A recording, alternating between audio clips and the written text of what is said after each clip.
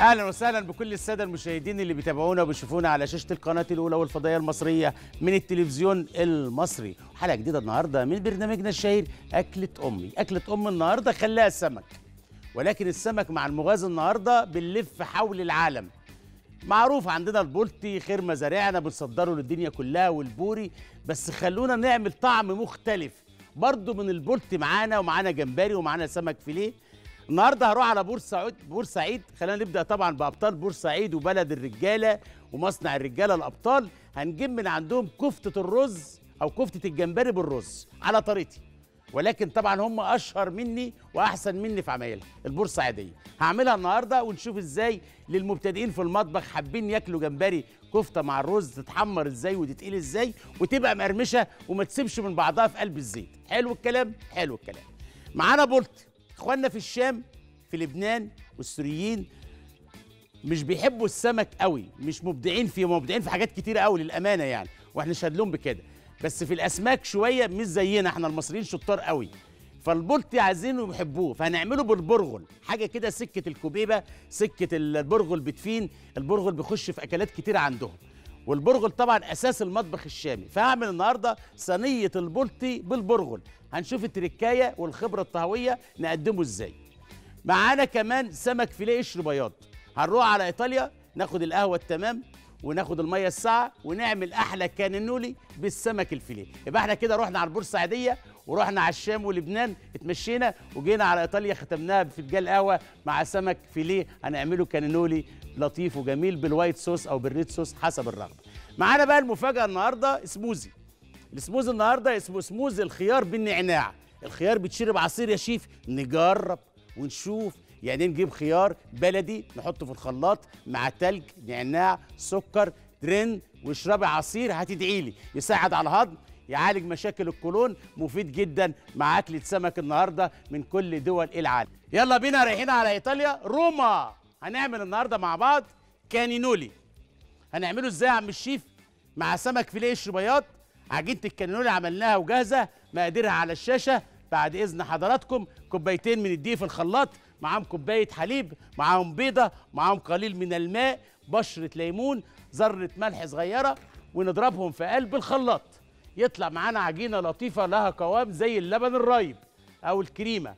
هناخد الكانيولي ده نخليه على جنب لمدة 10 دقائق. بعد كده بنجيب طاسة 2 3 4 ما عندكيش هاتي من الجيران واحدة. وتعملي 10 15 واحدة مع بعض. اللي هي عجينة الكانينولي أهي. ومعانا سمك فيليه قشر بياض ومعانا شوية جمبري حلوين. مش عارف هم معانا بيعملوا النهارده بس هنعملهم لعمير. ومعانا طبعا معانا من الحشو بتاعنا كمان فيليه مع روزماري ونعناع. تعالوا نشوف هنعمله مع بعض إزاي. شايفين السمك؟ ده سمك فيليه قشر بياض بتعمل فيه يا عم الشيف بياخد الصدمة النارية بالشكل ده كده. وبعد كده هنحشيه في الكانينولي. هنشوف نحشيه مع بعض إزاي. معانا كانينولي؟ جاهز؟ معانا عصير طماطم وطماطم متسبكة على النار. شايفين السمك الفيليه؟ طب إيه اللي أنت حطيته ده يا شيف؟ المخرج بيسأل. حلو. تومة كرفس زيت زيتون وكزبرة والطعم ده كده مع شوية زعتر حلوين مع شوية بهارات حلوين يا عم الشيف. الكفته في قلب الزيت بتتكلم بورسعيدي. آه. بابريكا كمون سنة كركم. دي كلها توابل على السمك. عشان هنحشي لك الكانينولي دلوقتي وإحنا مع بعض. وأنا سبته للآخر عشان إيه بقى؟ نعمله على الرواق. ومعايا عصير سموزي لأول مرة. سموزي الخيار بالنعناع والتلج. حاجة هتعجبكم على فكرة بتساعد على الهضم. نشوف السمك ده أخباره إيه؟ الله الله. آه. هو بيستوي كده تعملي بقى. تقطعي الواحدة على اتنين. آه بس استنى عليه شوية. آه. في قلب النار كده. وأقوم أغذيه بحاجة حلوة قوي فاكرين؟ ولا نسينا؟ خلينا أفكركم. كان في حلة على النار فيها بوكيه جرنيه. خدت روس السمك حطيتهم هنا. اهو اهو وشقشاق مية كمان هنا على صوص الطماطم. اهو منكم وإليكم. اهو زي الفل. صوص طماطم جاهز واخد زعتر واخد تومة واخد بصلة زي الفل. ونسيب الفيليه على النار كده. أنا الكانولي مش هياخد مني دقيقتين يعني. بس أنا عايز إيه؟ أوضح المعلومة دي بس. يعني ده عايز عصرة ليمون كده وإحنا بناكل. فص ليمون كده على كل واحدة وإحنا بناكل. لزوم الشيء يعني زي ما بيقولوا. آه. تعالوا مع بعض سريعا كده نعمل حباية واتنين من الكانولي بتاعنا الحلو. أدي العجينة معانا. والسمك جاهز على النار. وتعالوا نشوف هنشتغل إزاي فيه مع بعض. آه. حلو قوي زي الفل. كسرولة زي دي كده. جميلة. حلوة. أهي. بنحط فيها شوية صوص طماطم. من المعتة اللي على النار اللي خد من الشوربة بتاعتنا. أهو. حلو قوي وجاهزة هنا كده. وتعالوا نحشي واحدة واثنين وثلاثة وأربعة ده عدد أفراد الأسرة. تقطعي الحبة على اتنين زي ما أنت عايزة. تعملي كانونولو صغير زي ما أنت عايزة. تعملي حبة كبيرة زي اللي زي اللي معايا دي زي ما أنت عايزة. وإحنا شغالين كده. آه. اللهم صل على النبي. صلي على الحبيب. قلبك يطيب. هناخد الفيليه بتاعنا ده كده. شفت استوى. آه. ونقطع الواحدة نصين. آه. بالشكل ده كده. آه. ونبدأ إن إحنا نحشي الكانينولي السمك الفيليه بتاعنا ده كده مع جبنة موزاريلا. واختياري عايزة تحط جبنة موزاريلا؟ أهلا وسهلا. عايزة تحط جبنة شيدر؟ أهلا وسهلا. بالشكل ده أدي حبايه الكانينولي بتاعتنا. الله. شوية جبنة موزاريلا. شفت الجو ده كده بقى؟ طريقة جديدة أهي. حلو. وناخد السمك الفيليه اللي إحنا جاهزينه هنا ده كده. الله. تسلم إيدك يا شيف والله. حاجة جديدة وعليها كمان شوية جبنة موزاريلا. ونلفها بالشكل ده كده. اللهم صل على النبي. اللفة دي وتتحط هنا يا عم الشيف. كمان واحدة؟ يلا. بالظبط كده مع بعض اهو. عجينه الكانولي نحط شوية جبنة موزاريلا. حلو. وناخد السمك الفيليه بتاعنا ده كده. الله اهو. نقطعها كده. بالشكل ده كده اهو. واحدة كمان اهي. ينفع سمك فيليه بلطي؟ ينفع. فيليه قاروص؟ ينفع. زي ما انت عايز. كمان واحدة. هي هي ال- البولة أو الكسرونه تاخد واحدة تانية.